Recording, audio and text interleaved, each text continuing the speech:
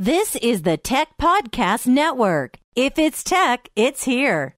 Making yourself some 3D models using your old record player. Not really, but we're going to talk about this next. You're watching CES 2014 coverage of the Tech Podcast Network. TPN.TV partners include Gazelle.com. Turn in your old iPhone into cash. Visit tpn.tv slash cash.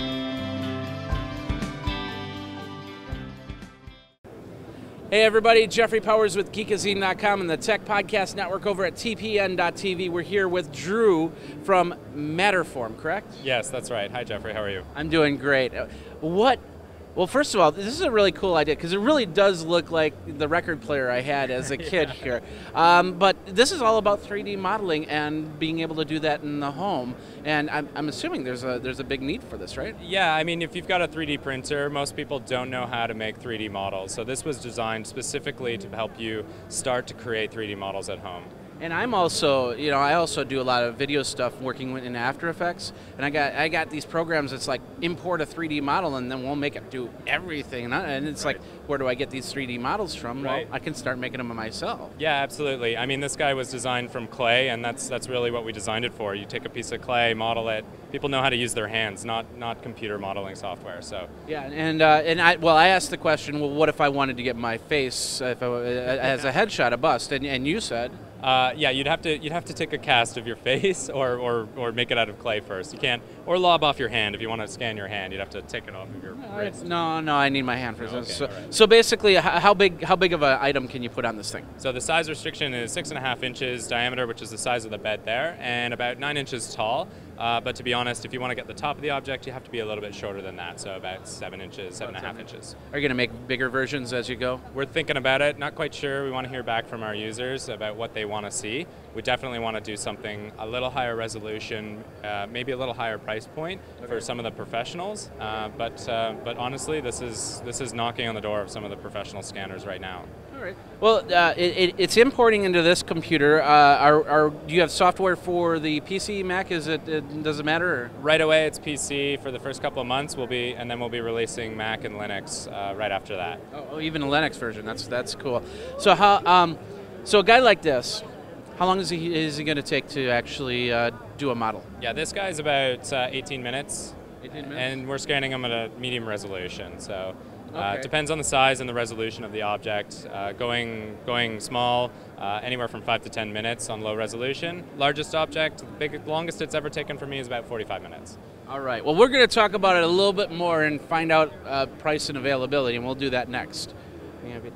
All right. We'd like to thank our 2014 sponsor, Gazelle. You can sell your, your devices for cash. Now, we're here at a trade show that, that shows off new products. So you might have the old version of that tablet or that smartphone, and now you know that there's a new version out and you're going to go buy it. So go and go over to Gazelle right now and lock down the rate for your device.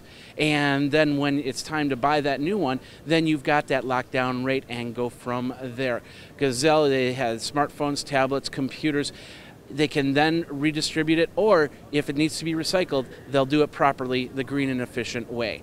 Check it all out. Go over to tpn.tv forward slash cash tpn.tv forward slash cash, and thank you very much for being a sponsor over at tpn.tv.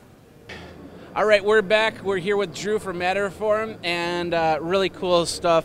Being able to actually create 3D models uh, to put into the computer for uh, maybe doing some sort of interesting 3D stop animation, or or just uh, sending something to a 3D printer, uh, of course. So, um, you guys have been how, how long you've been in the company here? Yeah, the company's less than a year old actually. We're just coming up to our first year anniversary.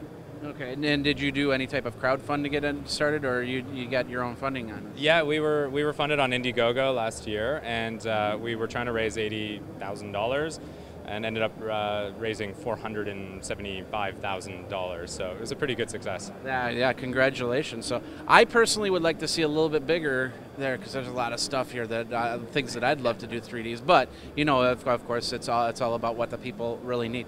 When's the available? When's it going to be out? And what are we talking about for price points? Yeah, uh, so the unit goes for 579 US right now, Okay. uh, and it comes with everything, including the software. and we're looking at trying to ship for February. We're trying to beat the, the rush right now, so we're doing our best, but uh, fingers crossed because we're, we're a little new at this. Does it come with this guy? Uh, no. All right, well, where do people go for more information? Uh, they can go to matterform.net, and uh, all our information is there, including sample scans. All right. Uh, oh, oh, so I could scan something up, and could I put it onto your website so for other people to use? Uh, we're yeah, that might that secret Yes. might might be available in the in the future, in the coming future. Yeah. We got an exclusive there. Might be available in the future, so it's going to be coming. So, Right. all right. Well, Drew, thank. Uh, Great. where do people go for information? Thanks, Jeff. Yeah, go to matterform.net, please. All right. And you know, it's CES. There's lots of videos, and we've got lots of stuff. Jeffrey Powers from Geekazine and the Tech Podcast Network over at TPN.tv. Check out all the v- cool videos. Get yourself a Matterform 3D uh, 3D scanner for your 3D printer, and uh, we'll see you on the next one.